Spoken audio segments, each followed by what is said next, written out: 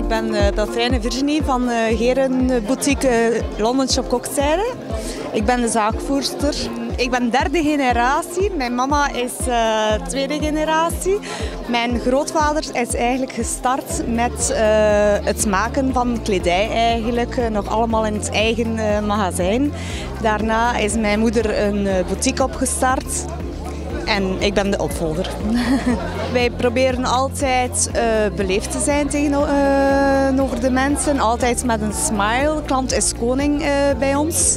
En ze worden altijd met open armen ontvangen. En wij zeggen altijd, we hebben liever dat je terugkomt met een klacht dan dat je niet meer terugkomt als er een klacht is.